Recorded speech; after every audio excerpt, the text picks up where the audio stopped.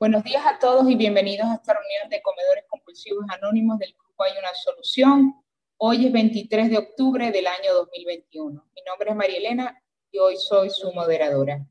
Eh, Yasmín estará haciendo eh, la lectura de, eh, de hoy. Esta reunión está siendo grabada, pero solo el audio va a ser publicado. Nuestra compañera esta mañana es Yasmín, que estará leyendo el, el libro de los compañeros de Joe, Joe and Charlie.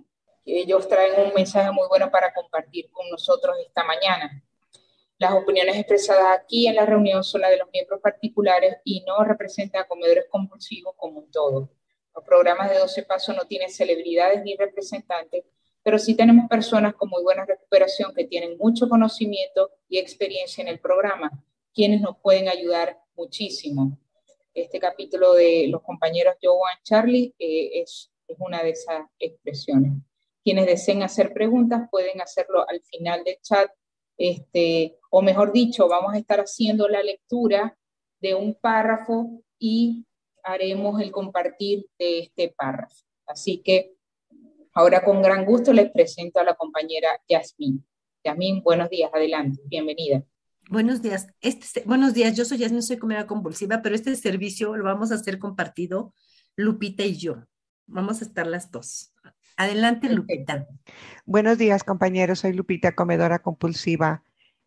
Eh, ahora, la forma en que vamos a trabajar, como lo habíamos dicho, ¿verdad? Es de que vamos a ver un pedacito de la, del documento de Joe y Charlie y después vamos a continuar eh, con el compartimiento de todos. Es un taller, entonces agradecemos el compartimiento de ustedes. Ok, aquí nos dicen Joe y Charlie, aquí echaremos un vistazo a la mente de los alcohólicos, justo antes de tomar el primer trago, secos como una piedra. ¿Podemos o no ver la verdad? Esa es la pregunta que nos hacemos, ¿verdad? Todos. Podemos si la podemos ver, es que estamos cuerdos. Si no, es que estamos locos. Ahora, ahora Bill nos va a mostrar esto con varios ejemplos. Nos va a dar ejemplos de un hombre de 30 años. Vamos a mirar a Jim, luego al peatón, peatón imprudente y finalmente a Fred. Cada uno de estos ejemplos en cada uno de estos ejemplos vamos a mirar dentro de la mente de un alcohólico para ver si puede o no puede ver la verdad sobre el alcoholismo. Veámoslo ahora. El capítulo se llama Más acerca del alcoholismo, pero podría llamarse Más verdad sobre el alcoholismo. Si sabes la verdad, la verdad te hará libre. Si no eres libre es porque no sabes la verdad yo agregaría aquí, o no la has aceptado. Y este capítulo aquí debería darme más verdad para que pueda basar mi vida en la verdad en lugar de basarla en cosas que no son verdaderas. En el libro grande, en la página 30, eh, en el párrafo 1, dice, la mayoría de nosotros no hemos querido admitir que éramos verdaderos alcohólicos. A nadie le gusta pensar que es física y mentalmente diferente de sus semejantes. Por lo tanto, no es de extrañar que nuestras carreras en la bebida se hayan caracterizado por innumerables intentos de mostrar que podíamos beber como otras personas. La idea delirante que, de alguna manera, algún día controlará y disfrutará su forma de beber. Es la gran obsesión de todo bebedor anormal. La persistencia de este delirio es asombrosa. Muchos lo, persiguen hasta las puertas de la locura o de la muerte. Llegamos a comprender que teníamos que reconocer plenamente en nuestro ser más íntimo que éramos alcohólicos. Este es el primer paso hacia la recuperación. Hay que acabar con la ilusión de que somos como otras personas o que pronto lo seremos. Bueno, a mí aquí me gustaría hacer una pausa, ¿verdad? Y ponernos a pensar. ya en realidad ya, ya destruí esa idea de que soy como otras personas o pronto lo seré? En mi caso no. En mi caso me, me costó mucho tiempo, muchos dolores el llegar a esto. Porque muchísimas veces yo decía, es que ahorita puedo comer de esta manera porque estoy de vacaciones. Ahorita porque estoy de visita es que ahorita no puedo entrar a las juntas porque tengo que hacer esto. Tengo que, em, tengo que ir a esta parte, tengo que ir a esta otra. Y me dice que ponga yo, que, que ponga el programa en primer lugar, que mi abstinencia es lo número uno sin excepción. Pero ¿cuántas veces lo he dejado de hacer?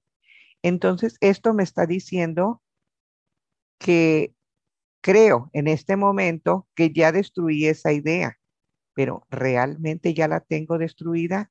¿Ustedes qué piensan? ¿Qué, qué, qué es lo que, cuál ha sido su experiencia? Yasmín, simplemente participa. Ay, gracias. Fíjate que, fíjense, yo soy Yasmín, soy comida compulsiva en un proceso de recuperación de día a día. Eh, yo siempre he tenido la ilusión, siempre, la ilusión de que algún día, en algún momento de la vida, voy a ser una persona normal. Sí, lo he pensado muchas veces, pero mi misma enfermedad a veces me derrota y me derrota de una manera realista. Podría decirse que es cruel, pero no, es realista para aceptar que yo soy una persona enferma y que así como dice ahí, he hecho innumerables intentos, innumerables. Sea, ya no lo puedo decir que los he contado con los dedos, así, ¿no? Uno, dos, tres. He tenido miles de esos intentos innumerables de pensar que yo puedo comer como comen las personas normales o las personas sanas. Y ahí es donde yo tengo que derrotarme. No puedo. Y, pero siempre he pensado en eso, ¿no? Y yo sé que esto a mí me puede llevar a la, así, a la, al punto de la locura o la muerte, porque ya he estado en esos límites, en los límites de, de estar en el límite del azúcar entre la diabetes y, y la no diabetes, en el límite del, del hígado graso, en el límite de, de la cuestión de daño a articulaciones. Estoy en esos límites y así es como la enfermedad me dice, vuelve a la realidad. Esta es tu realidad. Eres comedora compulsiva. Soy una comedora anormal, con esa obsesión mental y ese deseo imperioso. Gracias. ¿Alguien más quiere compartir?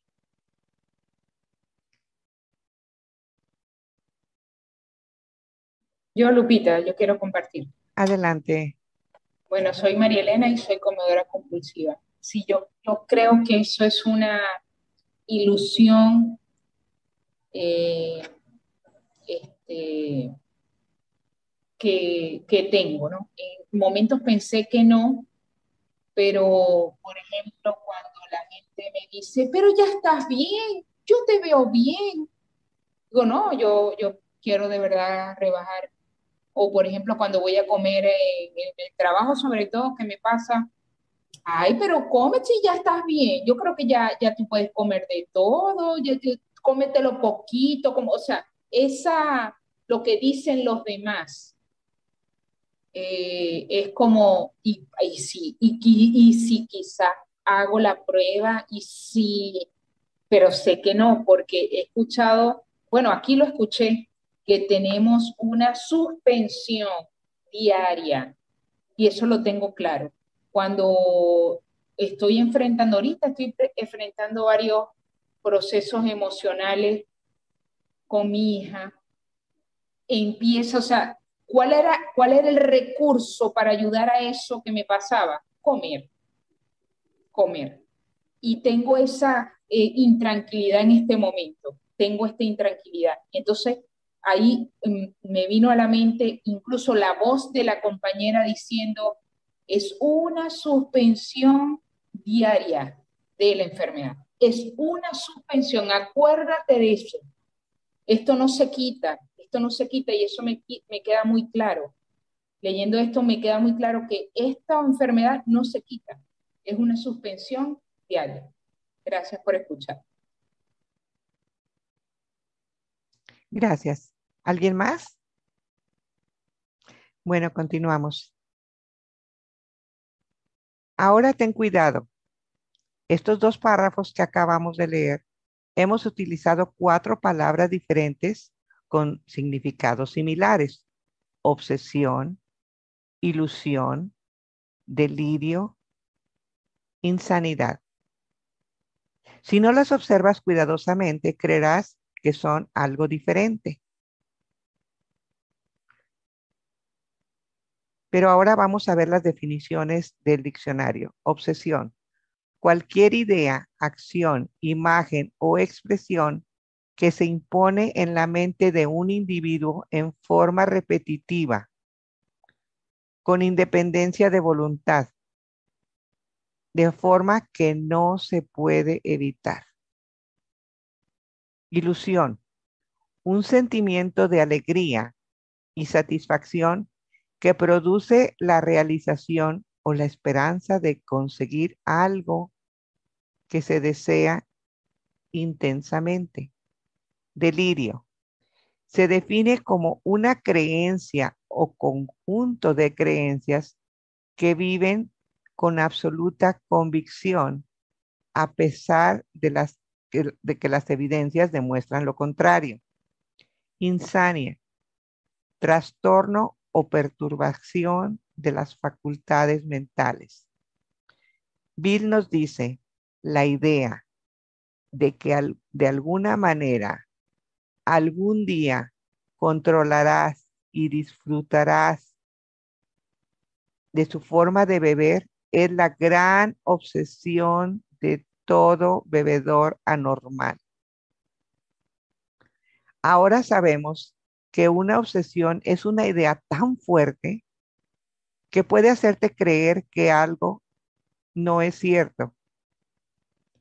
Puede hacerte creer una mentira.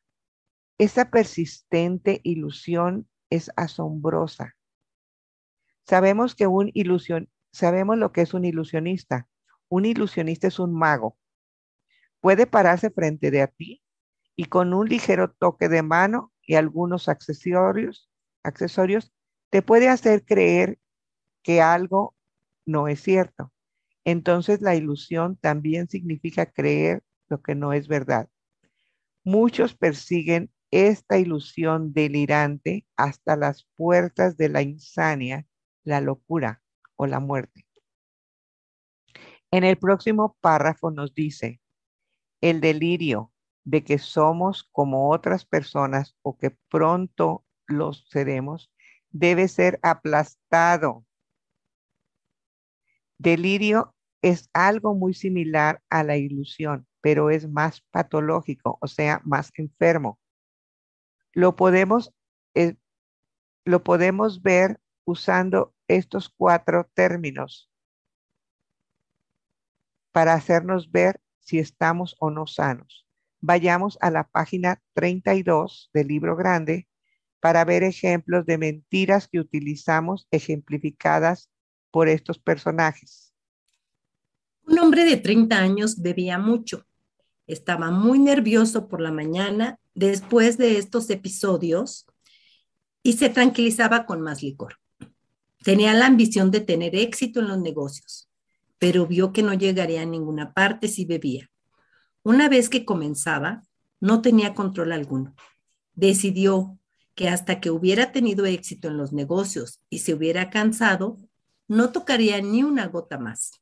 Un hombre excepcional, de la creencia que prácticamente todo alcohólico tiene, de que su largo periodo de sobriedad y autodisciplina lo habían calificado para beber como los demás hombres. Se puso sus pantuflas de, de alfombra y descorchó una botella. A los dos meses estaba en un hospital desconcertado y humillado. Trató de regular su forma de beber. Hizo durante un tiempo, lo hizo durante un tiempo, pero hizo varios viajes al hospital. Luego, reuniendo todas sus fuerzas, intentó detenerse por completo, pero descubrió que no podía. Tenía a su disposición todos los medios para resolver su problema que el dinero pudiera comprar. Cada intento falló. Aunque era un hombre robusto al jubilarse, se derrumbó rápidamente y murió en cuatro años. ¿Hacemos alguna pausa ahí, Lupita? No, lo, levantas, por favor, lo continúas. Este caso contiene una lección poderosa. La mayoría de nosotros hemos creído que si permanecíamos sobrios durante un periodo prolongado, a partir de entonces podríamos beber normalmente. Pero aquí hay un hombre que a los 55 descubrió justo lo que había dejado a los 30. Ahora sabemos la verdad, que la verdad es, una vez alcohólico, alcohólico para siempre. Nunca he visto un solo caso de nosotros que, que pudiera beber con éxito. Ahora bien, creer algo diferente a eso es creer algo que no es verdad, es una mentira. Este tipo creía que después de 25 años de sobriedad podría beber como la gente normal. Basado en esa creencia, tomó un trago, desencadenó la idea y no pudo parar. Cuatro años después estaba muerto. Ahora bien, su verdadero problema se encuentra en, perdón, el verdadero problema se encuentra en nuestra mente, que nos dice que podemos beber en algún lugar, en algún lugar de nuestro cuerpo nos asegura, perdón, aunque, eh, aunque nuestro cuerpo nos asegura que no es verdad. Hemos visto la verdad demostrada una y otra vez una vez alcohólico, alcohólico para siempre. Comenzando a beber después de un periodo de sobriedad, en poco tiempo estamos tan mal como siempre. Si estamos planeando dejar de beber, no debe de haber ninguna reserva de ningún tipo, ninguna idea al acecho de, que algún día seremos inmunes aquí sí vamos a hacer una pausa. Me quise esperar hasta que no viéramos estos comentarios de ellos, porque eh, sí, digamos, eh, cuántas veces yo me he hecho este, ah, bueno, es que ahorita voy a dejar de comer esto. Digamos antes, ay, porque viene la boda de fulano de tal y yo quiero estar delgada. Y yo pensaba que ya al haber llegado a mi peso ya iba a estar bien. Y lo veo que aún ahora en programa, sea correcto, voy a dejar de comer esto, pero lo guardo ahí. Lo guardo por ahí en la alacena para que ya una vez que tenga tanto tiempo sin haberlo comido, pues entonces yo creo que ya me lo voy a poder comer. Y me dice aquí, esto lo tengo que dejar. Lo tengo que dejar para siempre porque esto siempre me va a despertar el deseo imperioso.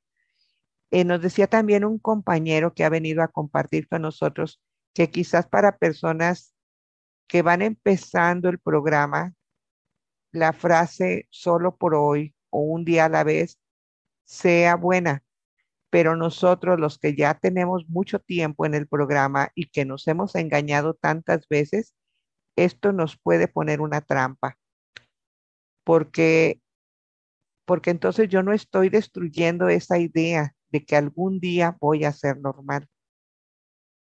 Y, y entonces, este, pues esto me lleva siempre a, ese, a ese punto de que, de que, ok, ahorita no, pero mañana sí. Y es una trampa que está ahí preparada para, para que yo caiga. ¿Alguien más quiere compartir? Adelante, Jazz, abre tu micrófono. Híjole, esta parte me ha gustado muchísimo porque en algún momento yo, yo, Jasmine, pensé que si recuperaba un, peso sano, si me, estaba yo como tranquila, eh, ya lo he hecho varias veces, pero la verdad es que he logrado esa pérdida de peso, pero no he logrado curarme de la enfermedad.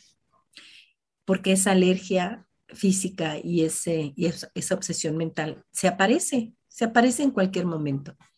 Y, y, esos, y esos buenos resultados que llegué a tener en algún momento, pues se ven frustrados. Y, pero yo no entendía precisamente esa parte de lo que dice aquí. Yo estoy enferma y yo toda la vida voy a estar enferma. Y hace muy poco un médico me lo tuvo que decir y me dijo, Yasmin, tú estás enferma y esta enfermedad que tienes no se te va a curar. Entonces ya perdí esa ilusión. O sea, ya perdí la ilusión de que algún día me voy a curar. Hoy tengo que aceptar pues que estoy enferma y que tengo que sostener esa enfermedad, el solo por hoy, estas 24 horas. Eh, que no importa el tiempo. Yo empecé a, a, comer compulsivamente a los 40 años. O sea que la edad tampoco es un factor determinante. O sea, yo llevo 20 años, voy a cumplir 60, y los últimos 20 años mi enfermedad se desató. O sea, la sostuve un tiempo y después se destapó así, ¿no? Así como este caso de este, de este que acabamos de poner. Y, y que tú piensas que el dinero, los tratamientos, te van a ayudar a que, a que se disminuya el objetivo de lo que yo quería. Pero no importa el dinero que gastes, la enfermedad no se quita. Entonces, por eso, una vez comedora, siempre seré comedora compulsiva. Muchas gracias. ¿Alguien más? Entre más personas compartimos, más nos enriquecemos porque vemos cosas en puntos de vista diferentes que la otra persona. Así como ahorita Joe y Charlie nos muestran sus puntos de vista y les comentaba yo antes de iniciar la reunión que antes de esto yo había leído estos capítulos, estos párrafos muchas veces y pues no, no los veía como los veo ahora. Y también cuando escucho a otros compañeros también se profundiza más. Araceli, adelante. Hola, buenos días. Soy Araceli Ae, soy comedora compulsiva. A mí me ha estado pasando, bueno, inicié muy bien mi abstinencia. Yo creo que es un regalo del Poder Superior cuando recién iniciamos el programa. Yo tengo este seis meses trabajando con el programa. Aquí en Just tengo como unos tres meses que, que los he conocido. Eh, bueno, la cuestión es que eh, logro, logro controlar mis alimentos que tengo marcados en rojo, ¿no? Que son mis compulsores. Pero me di cuenta que estaba cayendo con otros compulsores que no los consideraba yo tan compulsores, digamos un, un color amarillo, ¿no? Eh, con eso me identifico ahorita con la lectura porque pues siempre seré un comedor compulsivo. A veces consideramos que, que esto se puede quitar, pero ese es el error que yo he tenido pues durante toda mi vida, el tiempo que yo he estado a dieta y que sin darme cuenta rompo la dieta es porque creo que ya no necesito estar controlando mi alimentación porque ya me ya se me quitó eso, ¿no? Y pues resulta que no se quita. Entonces, pues sí hay que trabajarlo y es un trabajo de todos los días.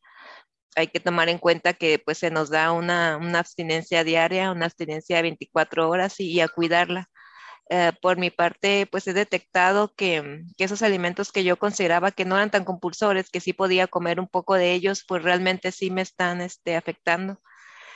Entonces, pues otra vez este, debo hacer modificaciones en mi plan de alimentación, en mi plan de acción, y pues me he dado cuenta que pues eso, eso va a ser de siempre, ¿no? Entonces, yo me había propuesto aún antes de conocer comedores compulsivos que yo ya no quería estar a dieta, que pues si yo iba a ser gordita, pues así iba a ser. Ahora lo que me he propuesto y, espero lograrlo con ayuda de mi poder superior, o más bien dicho, a través de mi poder superior, es yo encontrar una forma de alimentación donde yo ya no me sienta dieta, donde yo encuentre la paz, donde para mí esto sea una forma de vida y pues es lo que busco lograr, compañeras, y, y aquí pues escuchándolas a mí, yo también opino que, que, escuchar los compartimientos pues realmente me, me reflejo en muchos de ellos y me, me han apoyado mucho en, en mantener mi, mi, mi, abstinencia, ¿no? A seguir trabajando y a no dejar que, que, la enfermedad pues me, me agarre en curva, ¿no? Que es lo que me estaba pasando. Este, muchas gracias, es lo que puedo compartir, la sigo escuchando. Muchas gracias, adelante, Jasmine. Fíjate, Fíjate que ahorita, por eso me encanta, me encanta leer a estos, a estos, a estos compañeros, porque me, me hacen realmente eh, entender un poco más, ¿no? Sobre la misma enfermedad. Y así como dice, ¿no? Una vez alcohólico, alcohólico siempre. A mí me ha sucedido que dice, comenzando a, a, comer, porque este, esta enfermedad tiene regresos. Tiene regresos y en mi caso ha tenido esos regresos y a veces ha sido con alimentos que a mí antes no me compulsaban y que de repente me compulsan, ¿no? Y yo me doy cuenta por la cuestión de las cantidades que quiero comer, ¿no? Porque a veces trato de sustituir uno con otro. Bueno, eh, algo que he aprendido en el programa es precisamente a saber que lo que tengo hoy es un plan de alimentos, un plan de alimentos que me lleva a buscar que logre ese peso saludable a través de la abstinencia, que ese, ese plan se ha sostenido. En mi caso, yo por mucho tiempo estuve en esa rebeldía de no quiero, no quiero, ¿no? Una madrina decirme, pesa y mide, y yo no quería pesar, yo no quería medir, según yo tengo ya las cantidades y demás, ¿no? Y cómo tengo para tener esa, esa, esa abstinencia sostenida, tengo que pesar y medir. Eh, porque así comencé, porque comenzando a beber, a comer, después de un periodo de sobriedad, en poco tiempo estamos tan mal como siempre, o sea, un resbalón, una recaída, algo, algo está ahí, aquí está en estas palabras, está el secreto, vamos a decirlo así. Si estamos planeando dejar de beber, no debe haber ninguna reserva de, ningún tipo. Ahí es donde se habla de esa abstinencia completa, donde yo no tengo que tener ninguna reserva, porque yo a veces digo, ay, este es poquito. A veces hasta cuando peso, si me dicen que son 60 gramos, yo le quiero poner 62, y digo, ay, ¿qué tanto es tantito, no? Si me dicen 120, yo quiero 128 ay, ¿qué tanto es tantito? No, ese tanto, tantito es importante. Dice, y ninguna idea las he hecho de que algo, algún día seremos inmunes a la comida, ¿no? O sea, así, ahí está. Para mí ahorita está viendo esa, ¿no? Saber que el programa para mí hoy es un programa espiritual y tengo que pedirle mucho, en mi caso, a Dios, porque Él es mi poder superior, precisamente que me ayude a sostener esta abstinencia, porque yo sola no puedo porque yo me, como decían las palabras de arriba, me obsesiono, me insano rápidamente y digo, ay, no, no pasa nada. No, no, sí pasa, sí pasa, porque esa es mi enfermedad. Muchas gracias, Lupita. Ok. Ahora, ¿dónde me quedé? Porque con eso de que ya seguías tu verdad de leer. Sí. Nuestro libro grande, página 34. Para aquellos que no pueden beber moderadamente es cómo dejar de beber por completo. Estamos asumiendo, por supuesto, que el lector desea detenerse. Si una persona así puede dejar de fumar sobre una base no espiritual, depende de la medida en que ya haya perdido el poder de elegir si beberá o no muchos de nosotros sentimos que teníamos mucho carácter. Hubo una tremenda necesidad de cesar para siempre. Sin embargo, lo encontramos imposible. Esta es la característica desconcertante del alcoholismo, tal como lo conocemos. Esta total incapacidad de dejarlo solo, sin importar cuán grande sea la necesidad o el deseo. Entonces, ¿cómo ayudaremos a nuestros lectores a determinar para su propia satisfacción si son uno de nosotros? El experimento de dejar de fumar por un periodo de tiempo será útil, pero creemos que podemos prestar un servicio mayor a los alcohólicos y quizás a la fraternidad médica. Así que describiremos algunos de los estados mentales que preceden a una recaída en la bebida, porque obviamente este es el meollo del problema. ¿Qué pensamiento domina un alcohólico que repite una y otra vez el desesperado experimento del primer trago? Los amigos que han razonado con él después de una juerga que lo ha llevado al punto del divorcio o la bancarrota, quedan desconcertados cuando entran directamente a un salón. ¿Por qué él? ¿En qué está pensando? Nuestro primer ejemplo es un amigo al que llamaremos Jim. Ahora vamos a mirar la mente de Jim justo antes de que se emborrache y vamos a ver si está acuerdo o loco. Joe ama a Jim y luego nos dice Joe, sí, yo amo al viejo Jim, me identifico con él. Libro grande, página 35. Nuestro primer ejemplo es un amigo al que llamaremos Jim. Este hombre tiene una esposa y una familia encantadoras. Heredó una lucrativa agencia de automóviles. Tenía un historial envidiable de la guerra mundial. Es un buen vendedor. A todo el mundo le agrada. Es un hombre inteligente, normal, por lo que podemos ver, salvo por una disposición nerviosa. No bebió hasta los 35. En unos años se volvió tan violento cuando estaba intoxicado que tuvo que ser internado. Al salir del tratamiento, entró en contacto con nosotros. Le dijimos lo que sabíamos del alcoholismo. Le habían dicho acerca del paso 1, la alergia del cuerpo y la obsesión de la mente la condición de la impotencia. Libro grande, página 35, continúa. Y la solución que habíamos encontrado. Le habían hablado del paso 2, que un poder superior podría restaurar nuestra sanidad. Libro grande, página 35, continúa. Puso manos a la obra. Un poco más adelante, el libro dice, el paso 3 es solo el comienzo.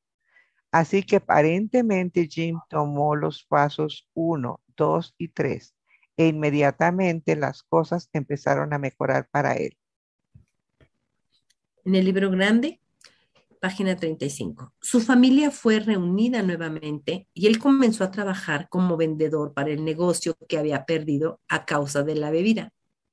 Todo fue bien durante un tiempo, pero no continuó cultivando su vida espiritual. El libro nos dirá en qué forma continuamos engrandeciendo nuestra vida espiritual. Y esto es practicando los pasos 4, 5, 6, 7, 8, 9, 10, 11 y 12. Y Jim no hizo nada de eso. Uno, dos, tres, el vals de, o, de OA y de AA. El libro grande en la página 35. Para su consternación, se encontró borracho media docena de veces en rápida sucesión. En cada una de estas ocasiones trabajamos con él, revisando cuidadosamente lo que había sucedido. Estos eran buenos miembros de, A, de AA. Jim se emborrachó seis veces seguidas. Cada vez iban ahí, trabajaban con él, revisaban cuidadosamente lo que le había sucedido. Te emborrachas seis veces seguidas hoy y probablemente no tengan nada que ver contigo. Esos serán buenos miembros sólidos de AA. En el libro grande, página 45. Estuvo de acuerdo en que era un alcohólico real y en una condición grave. Ahora sabía que se enfrentaría a otro viaje al manicomio si seguía adelante. Además, perdería a su familia por lo que sentía un, la que sentía un profundo afecto. Sin embargo, se emborrachó de nuevo. Le pedimos que nos dijera exactamente cómo sucedió. Ahora se están cansando un poco de Jim. Dijeron, Dios mío, Jim, por favor, esto ya son siete veces seguidas. No pasemos más por esto. Te sientas aquí y nos cuentas exactamente cómo sucedió. En la página siguiente vamos a ver cuándo Jim estaba cuerdo y dónde se volvió loco. el eh, eh, libro grande. Esta es su historia. Vine a trabajar el martes por la mañana. Leímos este libro durante años antes de ver esto. Vine a trabajar el martes por la mañana. ¿Dónde estuvo el, el lunes? Los alcohólicos somos malos con los lunes. Recuerdo que me sentí irritado por tener que ser vendedor en una compañía que una vez fue mía.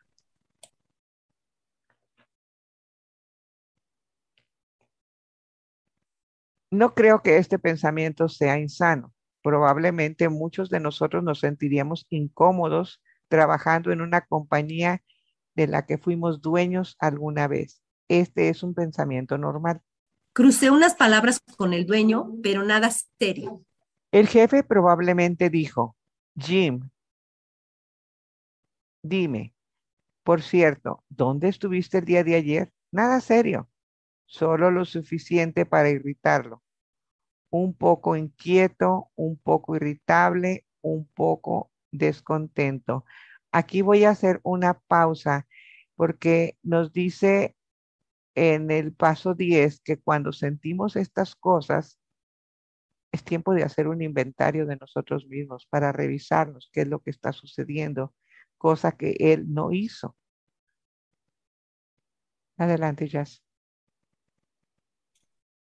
Bueno, a mí también, eh, bueno, aquí también quiero hacer una pausa porque efectivamente son los tormentos de cualquier alcohólico, comedor, drogadicto, el que consuma alguna sustancia y dice que precisamente son los que se sacan también de ese primer paso cuando estamos irritables, inquietos, descontentos, porque queremos volver a comer o queremos volver, al, por así como diríamos, a las andanzas, ¿no?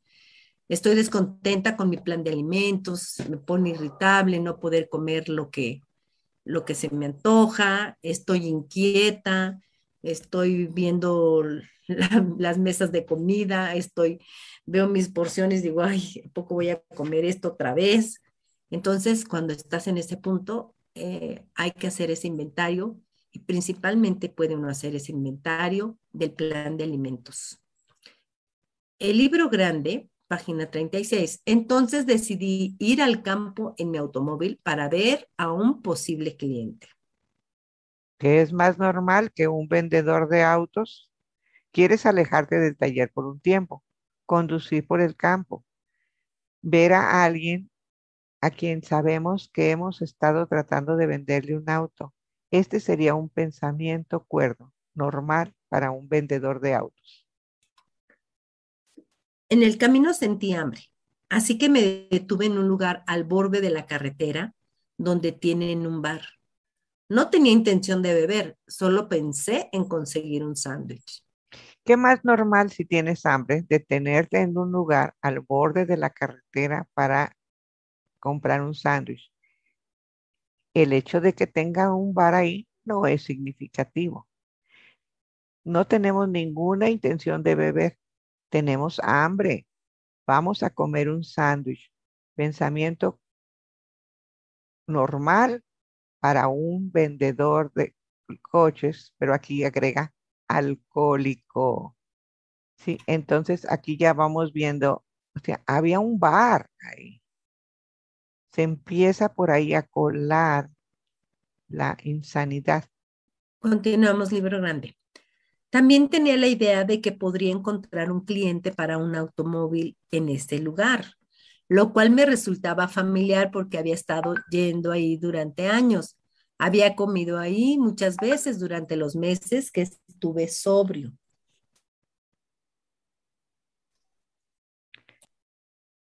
No vamos a entrar a beber. Hemos comido ahí muchas veces durante los meses que estuvimos sobrios. Vamos a entrar ahí. Comprar un sándwich. Tal vez vender un auto mientras estemos ahí. Pensamiento cuerdo, normal para un vendedor de automóviles alcohólico. Eh, me recuerda esto a la lista de excusas que ponemos para poder comer compulsivamente que vienen en la guía del taller que seguimos en este grupo. ¿Cuántas veces he usado esas excusas? Es que no, es que no me voy a llevar mi comida porque pues no, no se va a ver bien. Es que voy a ir en este lugar, pero nada más voy a comer, ¿no? Nada más voy a comer mi comida saludable. Ya pregunté el menú, creo que va a haber comida que puedo comer, aunque nomás creo. Excusas, excusas, excusas.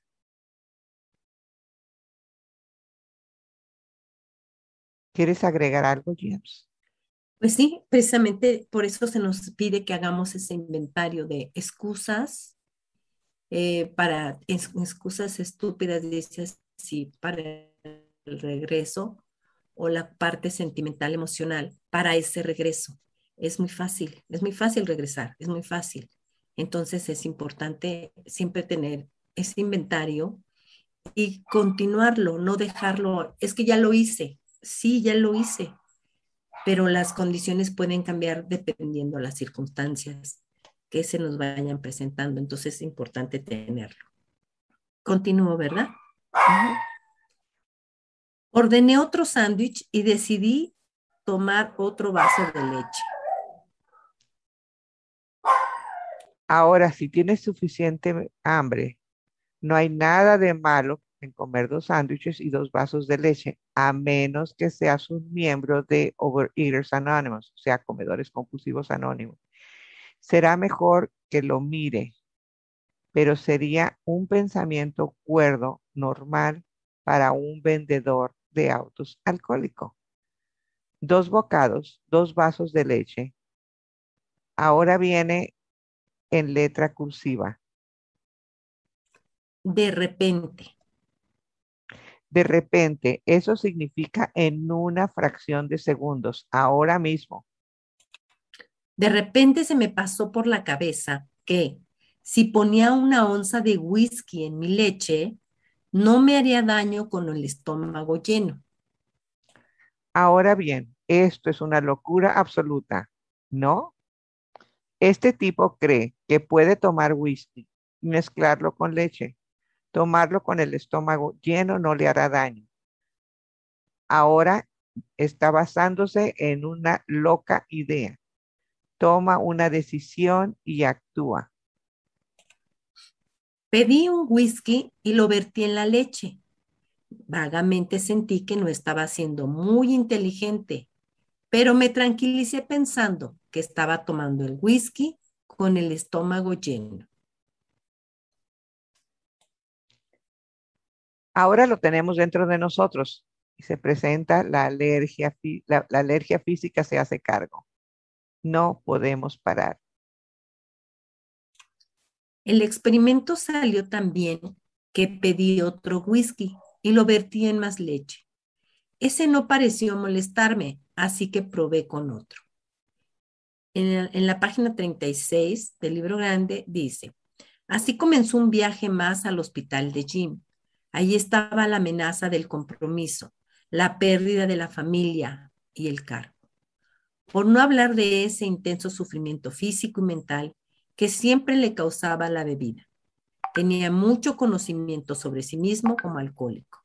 Sin embargo, todas las razones para no beber se dejaron de lado fácilmente en favor de la tonta idea de que podría tomar whisky si lo mezclaba con leche. Cualquiera que sea la definición precisa de la palabra, a esto lo llamaremos pura locura. ¿Cómo puede tal falta de proporción de la capacidad de pensar con claridad. ¿Se llamaría de otra manera?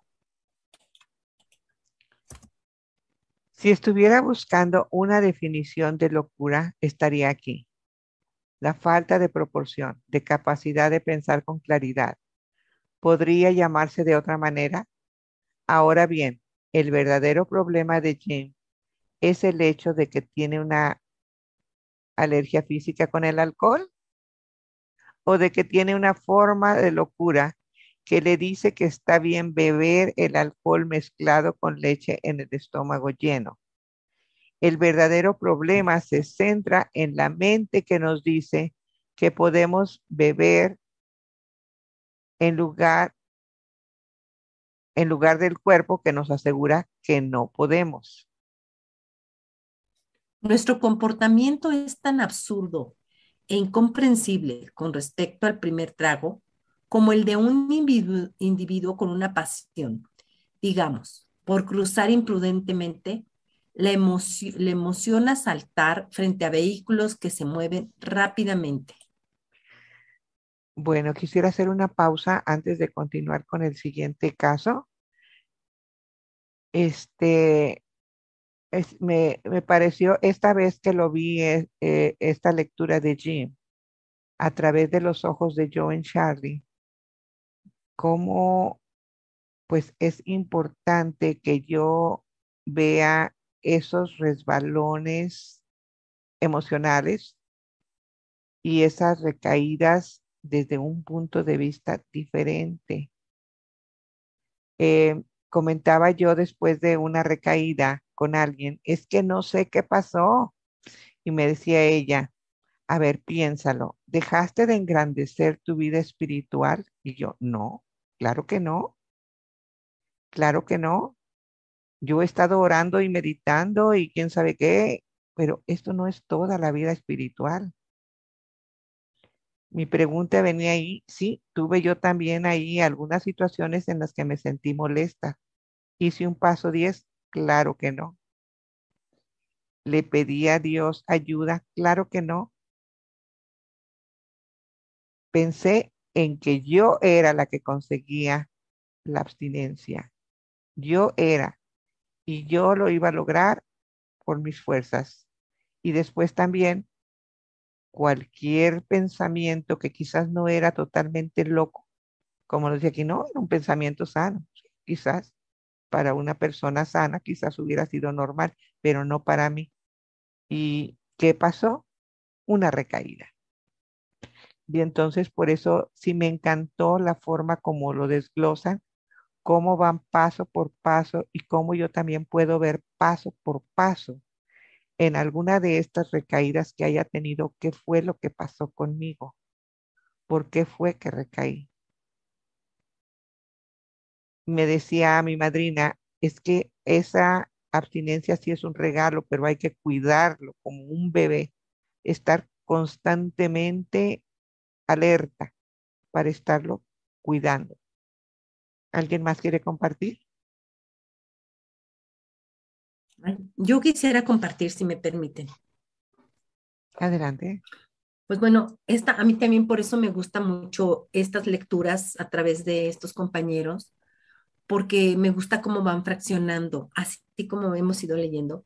Yo lo puedo a veces leer de corrido y no le encuentro el mismo significado a como ahora que me lo van parte por parte, ¿no?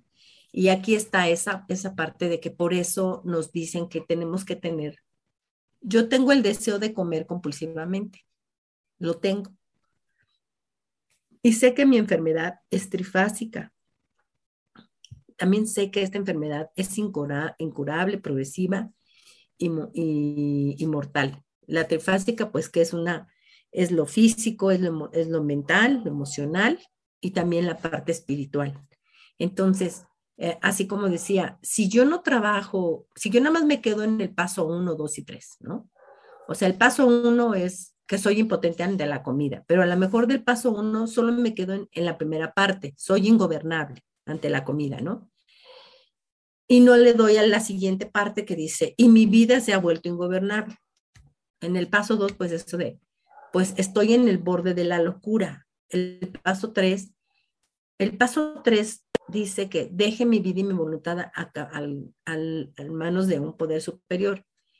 Pero los siguientes pasos son los de acción y yo a veces me quiero quedar en lo pasivo, paso uno, dos y tres, paso uno, dos y tres. Y no le quiero entrar a la acción. ¿Por qué? Porque tengo miedo, porque, porque muchas cosas. Entonces, si yo no, no avanzo, me quedo ahí y entonces eso me va a llevar a esas incontables recaídas, y eso lo he escuchado en compañeros, que se quedan en esa parte, en recaídas y recaídas, y recaídas en los tres aspectos, ¿no? Pueden ser comidas, ingredientes o comportamientos. Y a veces los comportamientos son los que me llevan a hacer más cosas, ¿no? Aquí lo que se está viendo es precisamente en los comportamientos, ¿no? Me sentí irascible, me sentí nervioso, me sentí así y dije, mejor me voy de aquí, se va de ahí. Y vas a una fuga geográfica, pero estás buscando a dónde llegar a refugiarte. En el caso del, del, alcohólico, pues es llegar a un bar, pero dice, ay, no llegué a un bar, llegué a un restaurante. En el caso de nosotros, pues es, yo no me voy a ir a meter a la cantina, no tomo, pero sí estoy pensando en irme a meter a un restaurante y en el restaurante pues voy a ver todo, me voy a volver loca ahí con todo lo que hay y voy a decir, quiero esto, ya se me antojó aquello, ya quiero aquello. O sea, entonces ver así, ¿no? Esa parte, cómo a veces yo me pongo en riesgo por mi imprudencia, ¿no? Por las emociones, por los sentimientos, por todo. Y, a veces digo, pero si yo ya estoy en el grupo, ya estoy en el programa, yo ya tengo, uso mis herramientas, pero por eso son de todos los días, no es nada más hoy y mañana quién sabe, sí, porque mañana quién sabe, ¿no? Entonces esa es la parte que yo tengo que, que estar revisándome y entonces ahorita me está encantando así como dice, esos comportamientos son tan absurdos e incomprensibles porque te preguntan, ¿y por qué lo hiciste? No sé, no lo sé. Y así es, así es así es esta enfermedad, es sutil y astuta. Muchas gracias, Lupita. Claudia, adelante. Hola, compañeros.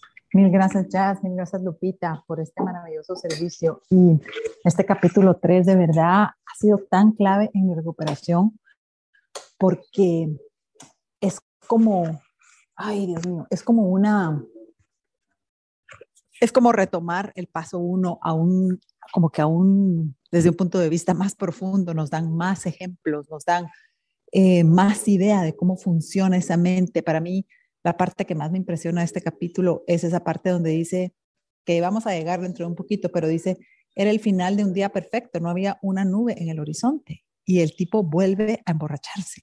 ¿verdad? No importa que sea un día bueno, un día malo, la enfermedad está ahí acechando. Y sí, solo a través de mi condición espiritual, de, una, de, mi progreso espiritual, voy a lograr mantener el sano juicio que me prometen en el paso 2, ¿verdad? En el paso 2 me dicen que un poder superior puede devolverme el sano juicio, pero es un camino diario, así como lo estaban diciendo acá, es un camino diario. ¿Y qué necesito hacer todos los días, verdad? Bueno, Dicen el remedio, los pasos 10, 11, 12, es el remedio para la obsesión mental, para poder tener sano juicio, para la enfermedad de la mente que tengo, que es la parte más peligrosa de mi enfermedad. Porque si yo no tengo sano juicio, no voy a poder recordarme de que soy una adicta a la comida.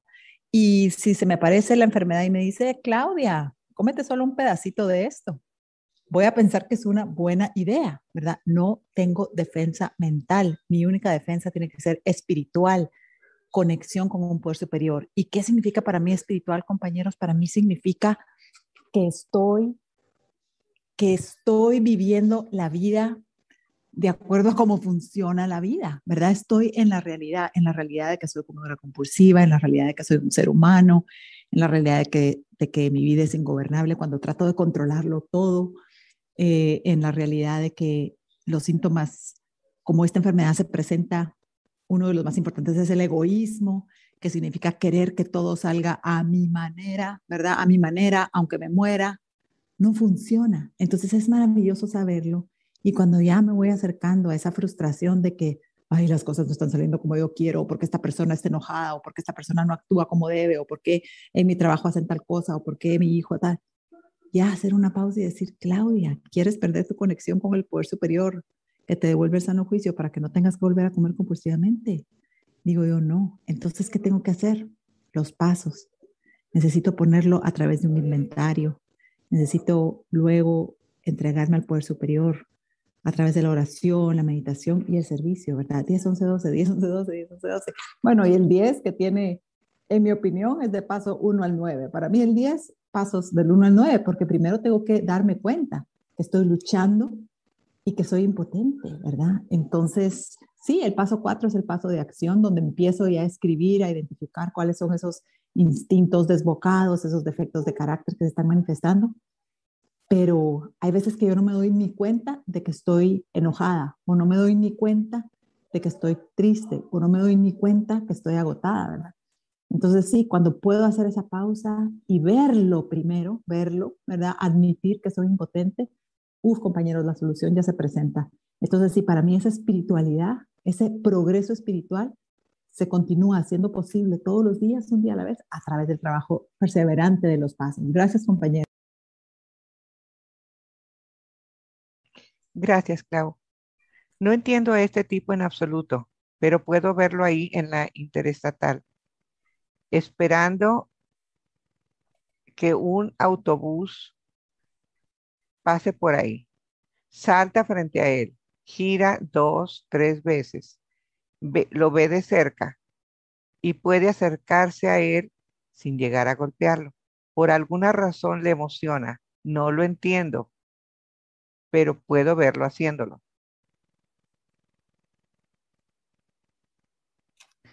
Disfruto, disfruta unos años a pesar de las advertencias de sus amigos. La gente dice, oye, Bill, será mejor que dejes de hacer eso, te vas a lastimar. Hasta este punto lo, lo etiquetaría como un tipo tonto que tiene ideas extrañas sobre la diversión. La suerte luego lo abandona y se lesiona levemente varias veces seguidas está envejeciendo poco a poco. No puede moverse tan rápido. Empieza empiezan a golpearlo de vez en cuando. Nada serio. Simplemente rebota en ellos.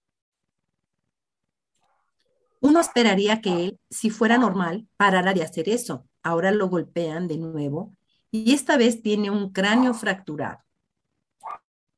Esta vez salió seriamente lastimado. Una semana después de salir del hospital, un tranvía que se movía rápidamente le rompió el brazo. Una vez más sale seriamente lastimado. Te dice que esta vez va a parar de cruzar las calles de esa manera, pero a las pocas semanas le rompen las dos piernas. Hombre, nunca volveré a hacer esto mientras viva. Pero en unas pocas semanas se rompe ambas piernas. A lo largo de los años, esta conducta continúa, acompañada de sus continuas promesas de tener cuidado o de mantenerse fuera de las calles por completo. Finalmente, ya no puede trabajar. Está tan golpeado que ahora no puede mantener un empleo. Su esposa se divorcia está cansada de mantenerlo a él, a los niños y a las fracturas y las facturas del hospital. Queda en ridículo, intenta todos los medios conocidos para quitarse de la cabeza la idea de cruzar imprudentemente. El mal no está en su cuerpo, sino en la cabeza. En el libro grande, se encierra en un centro de tratamiento un hospital psiquiátrico, con la esperanza de enmendarse. Pero el día que sale, corre frente a un camión de que le rompe la espalda. Un hombre así estaría loco, no lo haría. Puedes pensar que nuestra ilustración es demasiado ridícula, pero lo es. Nosotros que hemos pasado por experiencias agobiantes, tenemos que admitir que si sustituyéramos el alcoholismo por cruzar imprudentemente, la ilustración encajaría perfectamente con nosotros. Por muy inteligentes que hayamos sido en otros aspectos, cuando el alcohol ha estado involucrado, hemos estado extrañamente locos. Es un lenguaje fuerte, pero ¿no es cierto? Creo que eso es muy apropiado hoy.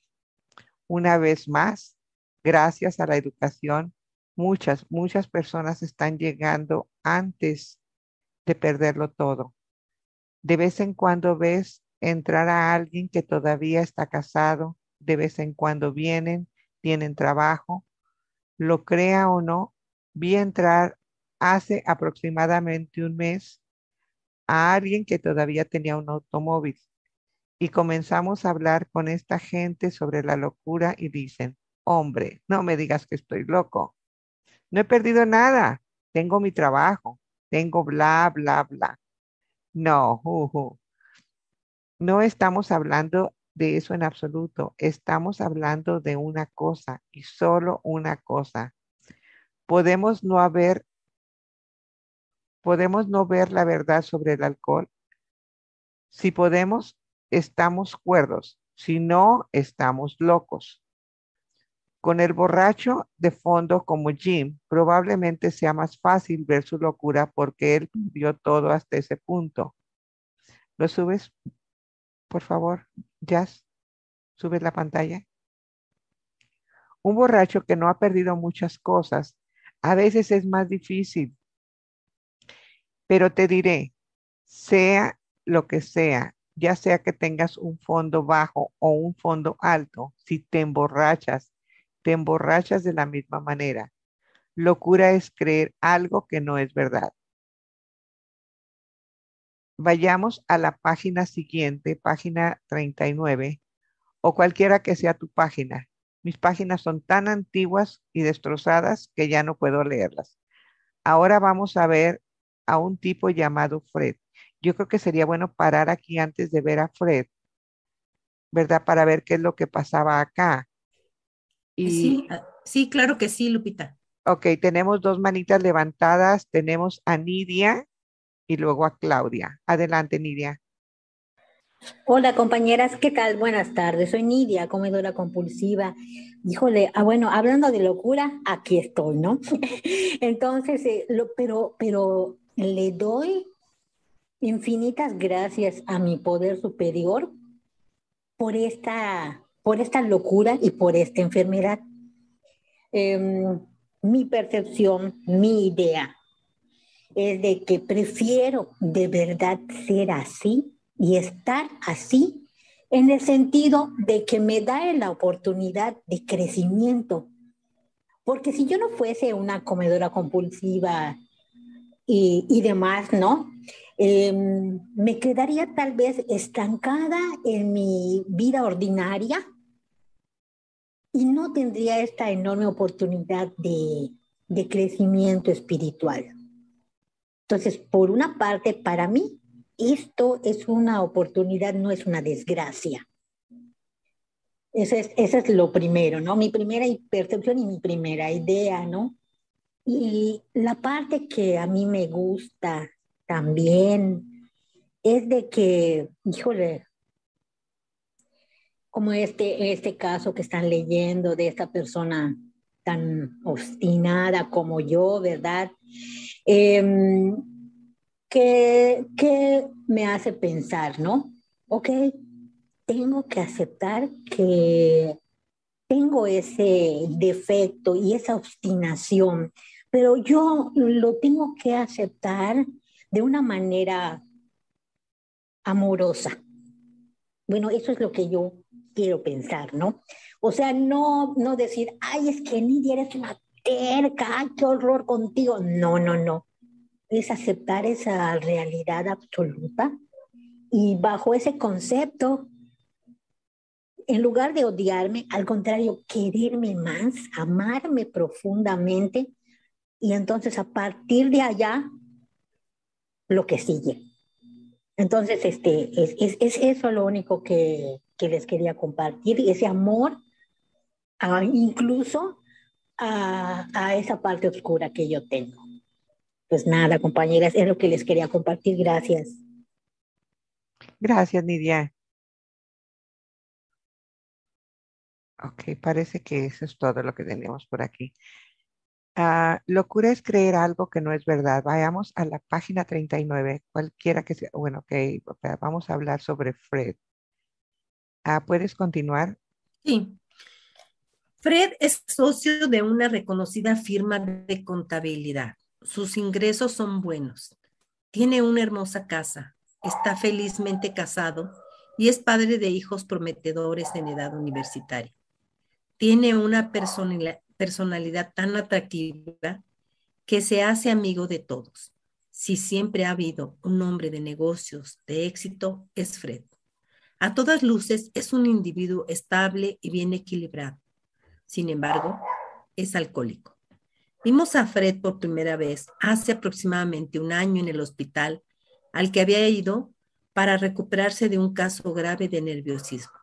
Era su primera experiencia de este tipo y estaba muy avergonzado de ella. Lejos de admitir que era alcohólico, se dijo a sí mismo que había venido al hospital para descansar los nervios. Hoy en día hay muchos restauradores de nervios en AA como Fred.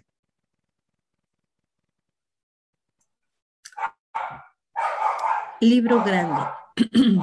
El médico insinuó fuertemente que podría estar peor de lo que pensaba. Durante unos días estuvo deprimido por su condición. Decidió dejar de beber por completo.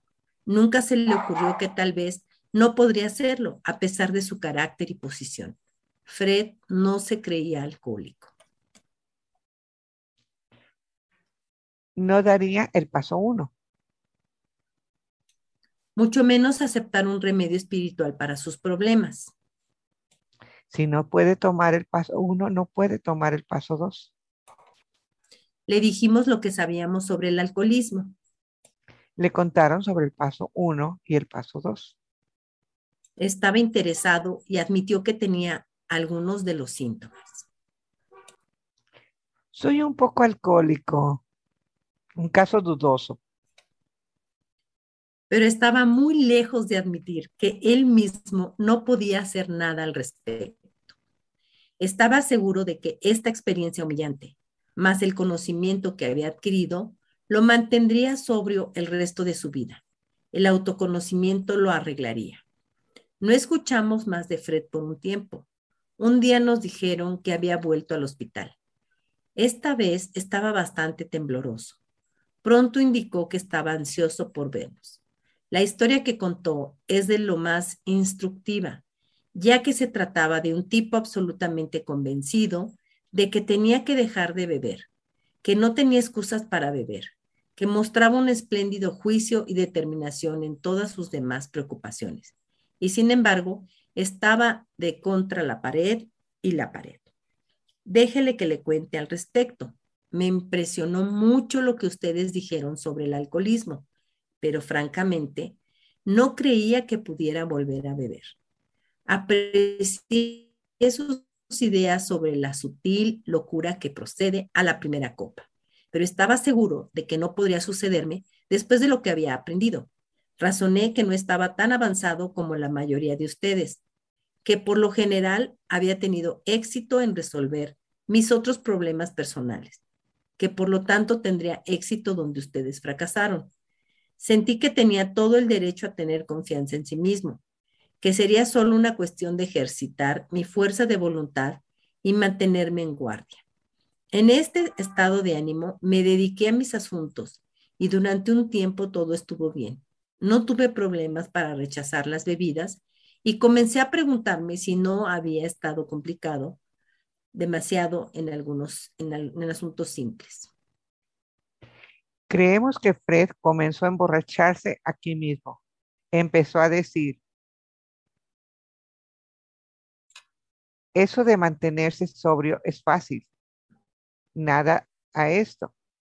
Aquí eh, pues habla de que pues de la, de la sobriedad mental, ¿verdad? No, eh, podría mantenerse sin tomar el alcohol, pero ya estaba ahí la idea, la idea delirante de que él era como las demás personas o que pronto lo sería. Adelante, Jazz. Un día fui a Washington para presentar algunos comprobantes contables a una oficina, del gobierno. Ya había estado fuera de la ciudad antes durante este periodo de abstinencia en particular, así que no había nada nuevo en eso. Físicamente me sentía bien, tampoco tenía ninguna presión, problemas o preocupaciones. Mi negocio salió bien, estaba contento y sabía que mis socios también lo estarían. Era el final de un día perfecto, no una nube en el horizonte. Todo está en la cima del mundo para Fred. Lo está haciendo muy bien. Gana mucho dinero. La familia está feliz. Socios comerciales felices. Todo va bien para Fred.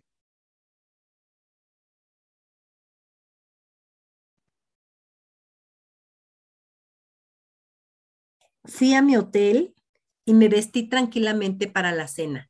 Al cruzar el umbral del comedor, se me ocurrió la idea que sería bueno tomar un par de cócteles. Ahora esa es la verdad, ¿no? De ninguna manera me emborracharía, le dijo su mente. Sería bueno tener un par de cócteles con la cena. Eso era todo, nada más. Ahora, basado en la loca idea, toma una decisión. Pedí un cóctel y mi comida, luego pedí otro cóctel. Ahora tenemos dentro de nosotros la alergia del cuerpo, la cual se hace cargo. Continuamos con el libro grande. Después de la cena, decidí dar un paseo. Cuando regresé al hotel, pensé en un, high, en un highball. Estaría bien, un highball estaría bien antes de ir a la cama. Así que entré al bar y tomé uno. Recuerdo haber tomado varios más esa noche y muchos a la mañana siguiente. Tengo un vago recuerdo de estar en un avión con destino a Nueva York, de encontrar un taxista amigable en el campo de aterrizaje en lugar de mi esposa. El conductor me escoltó durante varios días. Sé poco de a dónde fui, o porque lo dije y lo hice. Luego llegó al el hospital en un sufrimiento físico y mental insoportable. Tan pronto como recuperé mi capacidad de pensar, Revisé con cuidado esa noche en Washington. No solo había estado en la guardia baja, no había peleado en absoluto contra ese primer trago. Esta vez no había pensado en las consecuencias en absoluto. Había comenzado a beber tan descuidadamente como si los cócteles fueran ginger ale. El verdadero problema de Fred es el hecho de que tiene no es el hecho de que tiene una alergia física al alcohol, que tiene una forma de locura que le dice, sino, una sino que tiene una forma de locura que le dice que está bien tomar un par de cócteles con la cena. Pero el verdadero problema se centra en la mente que nos dice que podemos beber en lugar de en el cuerpo que nos asegura que no podemos la página 43 en el último párrafo, sabes que Bill tenía la idea de que el autoconocimiento lo arreglaría. Ronald tuvo la idea de que el autoconocimiento lo arreglaría. Fred tenía la idea de que el autoconocimiento lo arreglaría. Bill está tratando de mostrarnos que todos tenemos la obsesión de la mente está tratando de mostrarnos aquí, a través de estas ilustraciones, el hombre de 30 años, Jim, el peatón imprudente, para decirnos una cosa.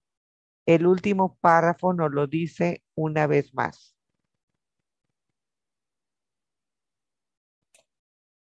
Una vez más, el alcohólico en ciertos momentos no tiene una defensa mental efectiva contra el primer trago salvo en algunos casos raros. Ni él ni ningún otro ser humano puede proporcionar tal defensa. Su defensa debe provenir de un poder superior. Y esta es la solución. No se puede curar una mente enferma con una mente enferma. El autoconocimiento no lo conseguirá. Cuanto más tratemos de pensar en nuestra salida, más nos adentraremos en el problema.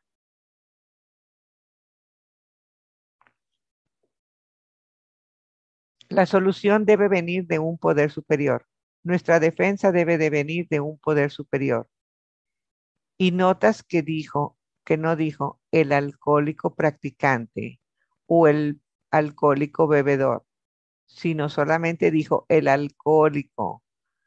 Ahora, lo que esto significa para mí hoy es que no tengo defensa mental capaz de pelear contra el primer trago dejando con mis propios recursos, invariablemente voy a volver a beber de nuevo, sin la ayuda de un poder mayor que el poder humano.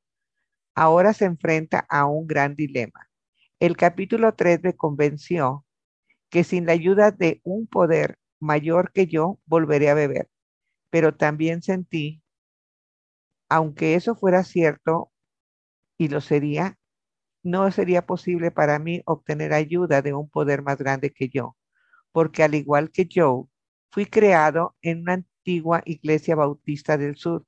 No tengo nada contra los buenos viejos sureños. La iglesia bautista es una gran iglesia. Estoy seguro de que de vez en cuando hablaban de un Dios bondadoso y amoroso, pero si lo hicieron, el mensaje nunca llegó al banco donde me senté porque todo lo que recuerdo haber escuchado acerca de Dios cuando estaba creciendo en esa iglesia fue el fuego del infierno y el azufre. Ir al infierno por mentir, hacer trampa, robar, beber whisky, cometer adulterio. Para cuando llegué a doble A, estaba haciendo eso durante 20 años. Creía que Dios había dicho, que había dicho a San Pedro, San Pedro, cuando este pequeño imbécil de cuatro ojos suba aquí, envíelo para abajo. No necesitamos a los de su clase. Y sabía que si Dios tenía algo que ver conmigo, no sería nada bueno. Ciertamente sería algo malo. Recuerdo tan claramente cuando me separé de Dios. En esa iglesia bautista en donde crecí, me, me dieron las reglas, dijeron, si haces esto, esto y esto, estarás bien. Si haces esto y eso, irás al infierno, tan seguro como cualquier cosa.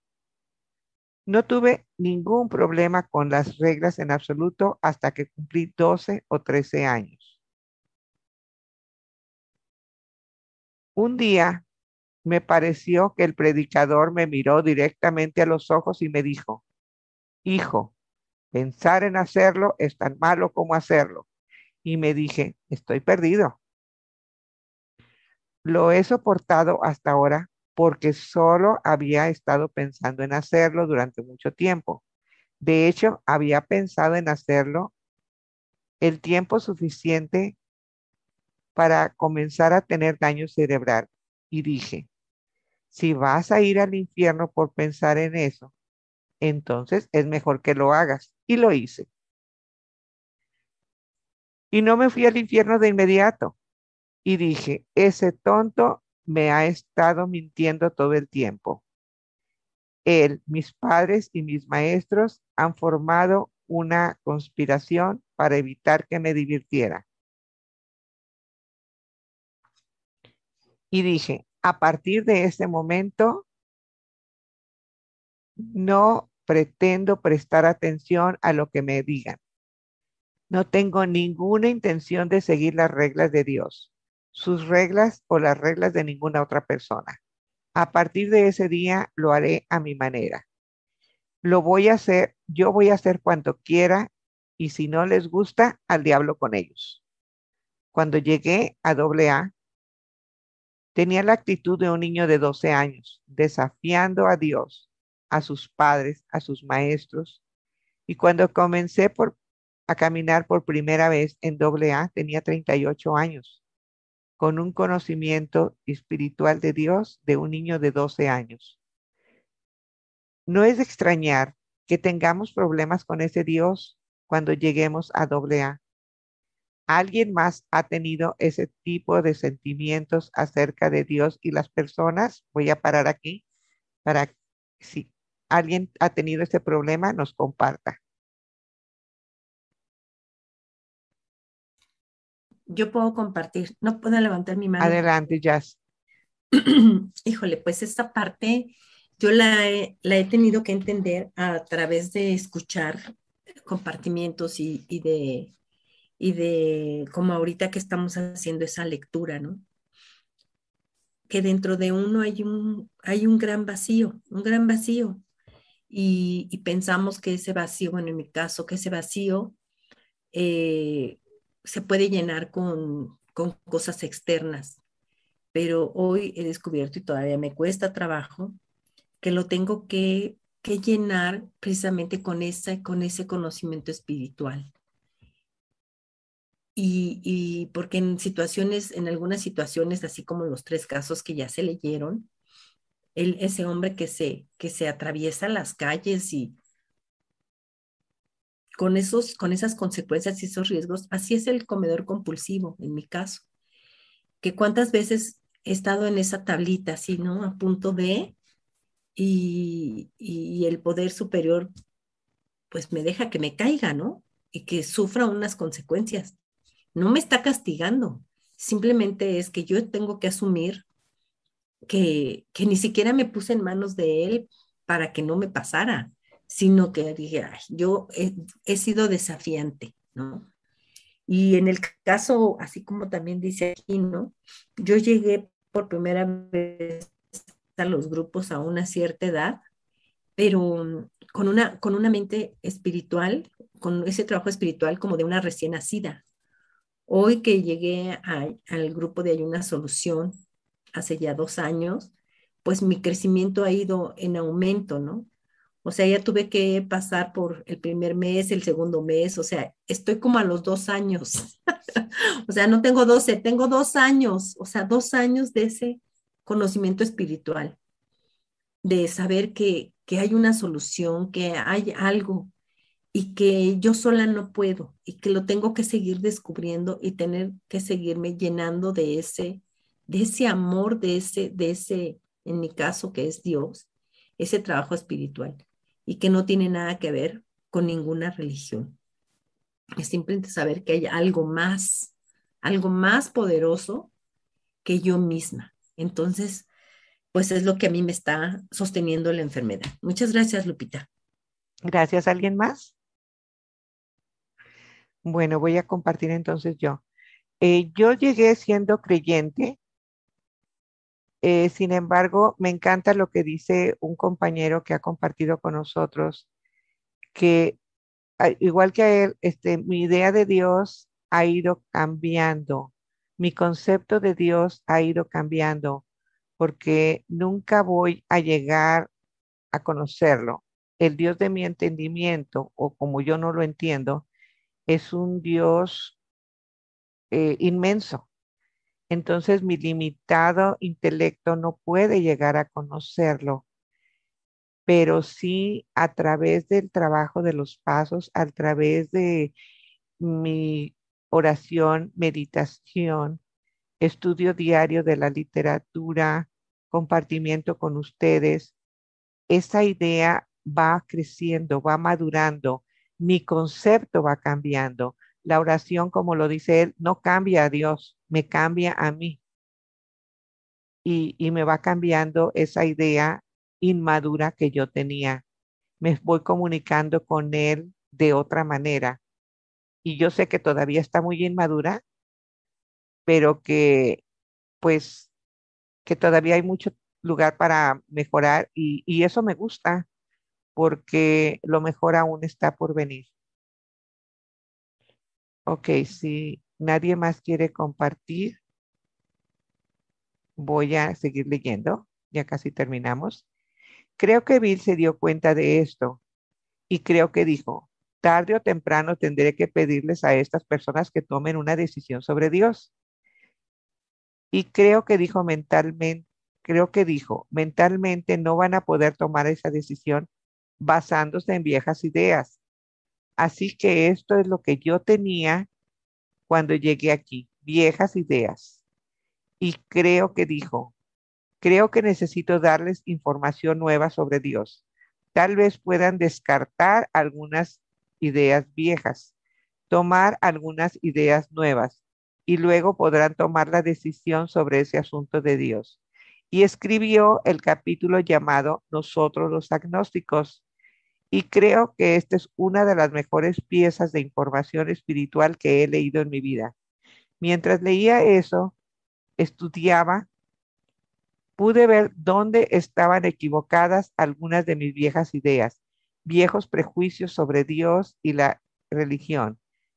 Y cuando podía ver dónde estaban equivocados, podría descartarlos y luego podía aceptar nuevas ideas acerca de Dios y luego hacer, tomar una decisión. no basado en el fuego del infierno y el azufre, sino basándome en un Dios de justicia.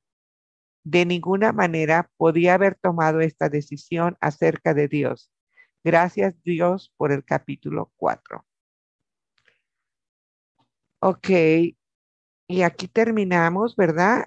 Si alguien quiere compartir, eh, puede hablar acerca de con qué personaje de esto se identifica más, o qué, le llamó la atención, si aprendió algo nuevo, si, si opina diferente, se vale todo aquí.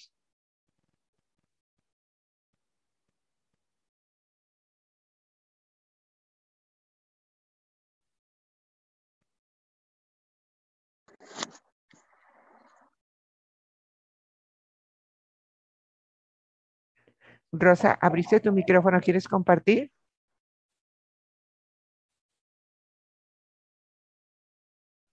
Ok, adelante, Clau. Gracias, Lupita. Muchas gracias, Jazz, y gracias a todos por los compartires. Pues fíjense, compañeros, que cuando yo tuve mi recaída, yo estuve dos años abstinente y tuve una recaída.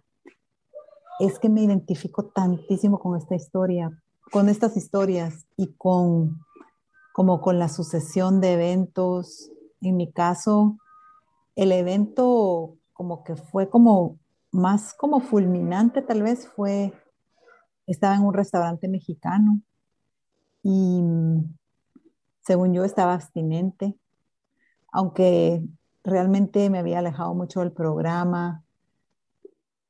La memoria de ese evento es como bastante vaga, pero eh, me recuerdo que nos pasaron un plato con salsa y, bueno, cosas, ¿verdad? Y, y tenían esas, em, esos, esas tortillitas tostadas y yo esas no las podía comer, no están en mi plan de alimentos porque esas tortillitas son pues fritas. Para mí esas son alcohólicas, son compulsivas y recuerdo que salsa sí podía comer y, el restaurante estaba muy ocupado y yo tenía mucha hambre. No me había preparado, obviamente no llevaba ningún alimento seguro conmigo. Me recuerdo que empecé a, a usar una tortillita como cuchara para meterme salsa a la boca. O sea, eso yo ahorita en sano juicio nunca lo haría, ¿verdad? Nunca. Y me acuerdo cuando se rompió, la, la tostadita se fue aguadando y se rompió en mi boca. Y fue así como un segundito, ¿verdad? Que, que fue así como, ¡oh! se rompió la tortita en mi boca y dije, me la trago, ¿qué hago, verdad? Y así como que, ay, pues no la voy a escupir aquí enfrente de todo el mundo, me la tragué, ¿verdad?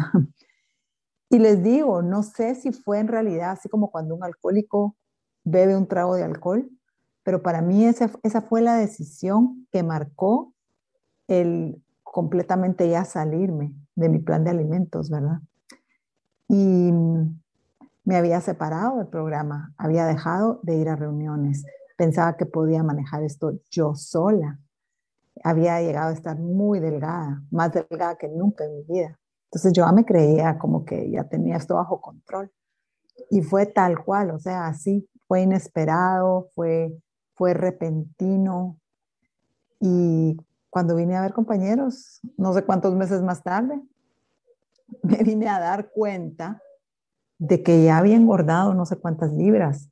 Y me di cuenta no porque lo vi en el espejo, no porque me pesé en la báscula, porque entonces yo le empecé a huir a la báscula. Me di cuenta porque una, una señora que yo iba, era la, la dueña de la lavandería donde llevábamos la ropa, me recuerdo que me, se me quedó viendo un día y me dijo, ¿y tú por qué estás gorda? Y yo así como que, yo gorda, ¿verdad? O sea, ni siquiera, o sea, la negación y la falta de habilidad de realmente verme en el espejo como soy, todavía me, todavía me sorprende tanto, ¿verdad? Porque me recuerdo que cuando esa señora me dijo, ¿tú por qué estás gorda? Yo solo me quedé así. Y solo dije, estoy gorda. Y esa fue como que, como que me hubieran quitado ese velo de los ojos. Así que esa señora, que por supuesto me cayó mal, pero fue como un ángel que me hizo darme cuenta que estaba más que recaída y había engordado yo solo me ponía ropa elástica y pensaba que la secadora de ropa me estaba encogiendo la ropa, ¿verdad? Que es una locura. pero sí esa mente enferma, compañeros, esa mente peculiar que niega, proyecta, justifica, eh, inventa, eh, tiene tanta propensidad al autoengaño. Yo la tengo. Y la única manera en que puedo mantenerme honesta es con un plan de comida, un plan de alimentos, porque yo no tengo la capacidad ni la noción de discernir en mi caso cuánto, cuánta comida necesito. Yo siempre quiero más comida de la que mi cuerpo necesita pero con mi plan de alimentos eso no es un problema. Así que lo agradezco mucho y pues por supuesto que el trabajo constante de los pasos para que para que no se tape ese canal entre mi poder superior y yo, ¿verdad? Ese poder superior que es el único que puede hacer esto por mí. Gracias, compañeros. Gracias, Clau. ¿Alguien más?